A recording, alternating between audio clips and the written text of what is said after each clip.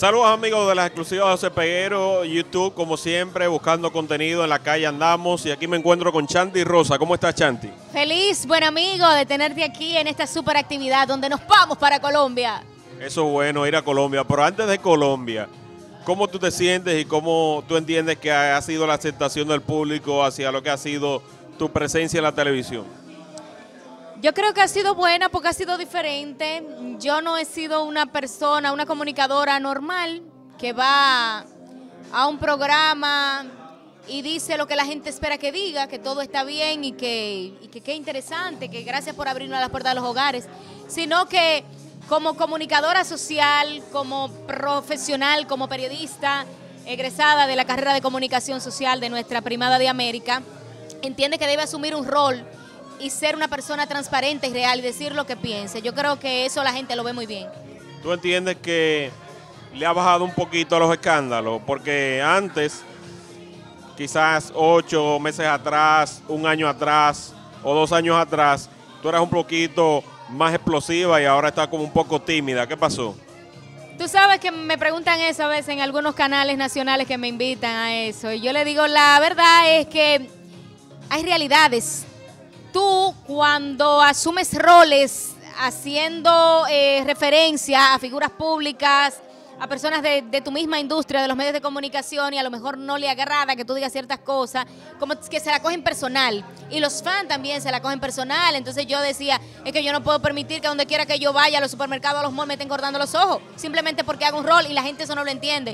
Entonces yo dije, bueno, pues déjame cogerlo un poquito más suave, porque a final de cuentas lo que importa es la paz que tú tienes y si la gente no sabe asumir la comunicación de la manera en la que tú le estás haciendo, tú entonces le vas un chin para llevar la fiesta en paz y para vivir en paz, porque la paz no se negocia. Sigo tratando de ser original, de decir lo que pienso, pero sí tratando de pasarle los pañitos de agua fría al lado, luego que le digo su verdad, para no entrar en discrepancia, porque la vida es paz y a las marcas le encanta eso.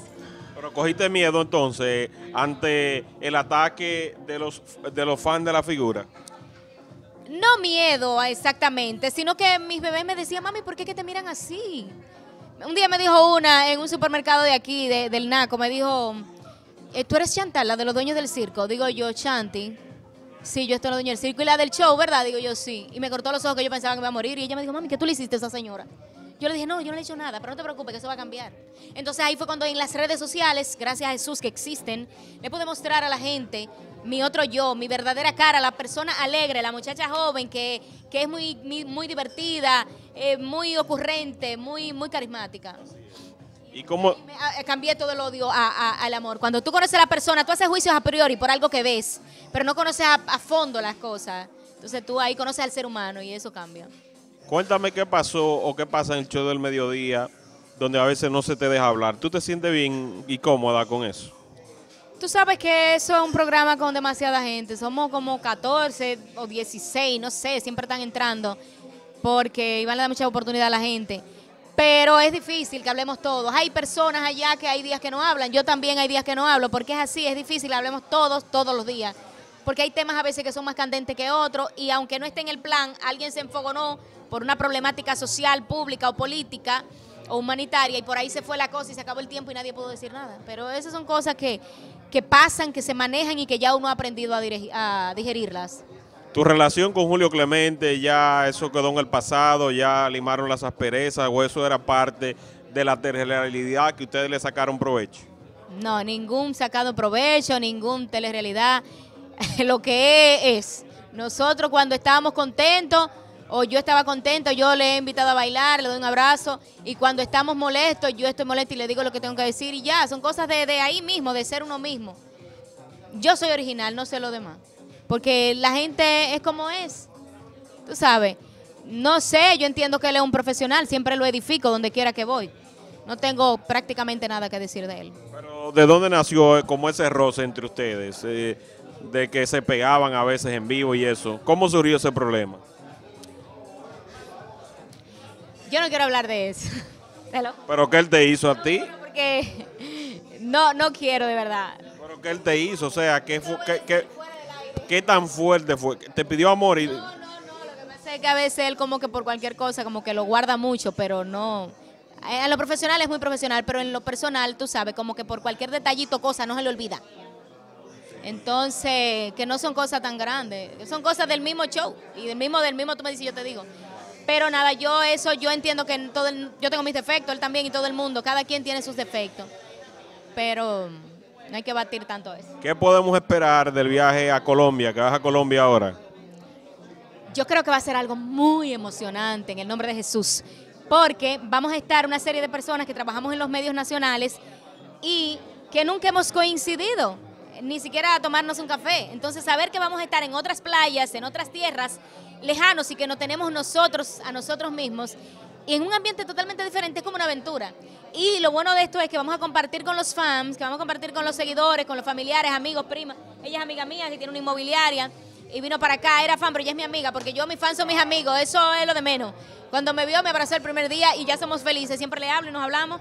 Y lo importante es vivir la vida, no es si somos primos, hermanos, amigos, van o lo que sea. La vida es que somos seres humanos y nos queremos y vamos a vivir. es. Es eso. ¿Y cómo está tu corazón? ¿Estás soltera, divorciada? Digo, tú te divorciaste. exclusivas con José Peguero. ¿Cómo tú estás ahora mismo? ¿Quién, quién te atiende? Estoy estable.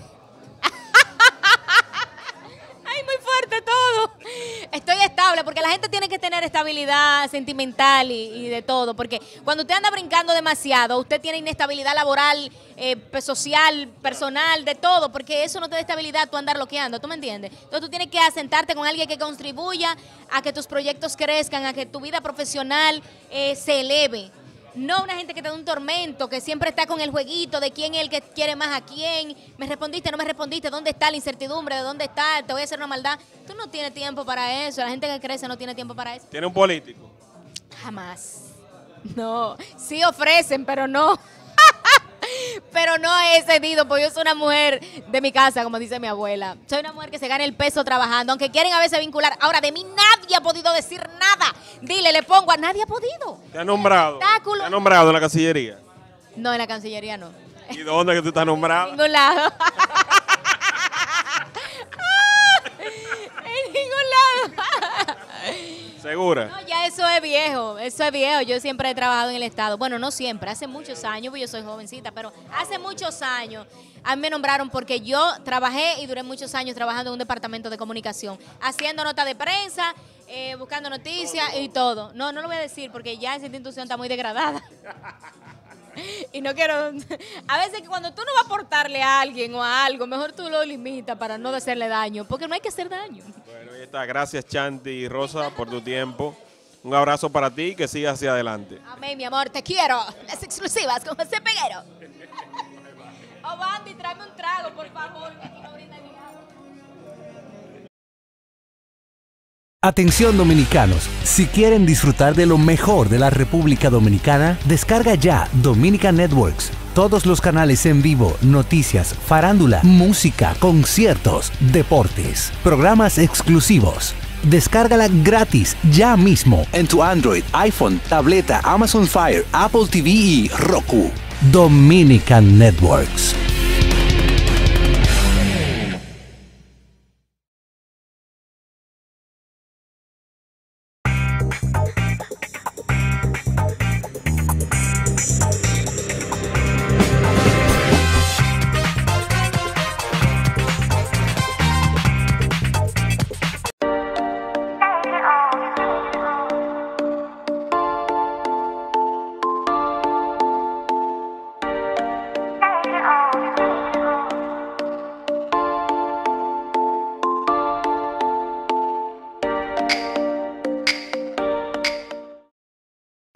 Este contenido llega a ustedes gracias a Dominica Networks. Descarga nuestra aplicación en Android, iPhone, Apple TV, Amazon Fire y Roku para que disfrutes de programas exclusivos y el mejor contenido de la República Dominicana.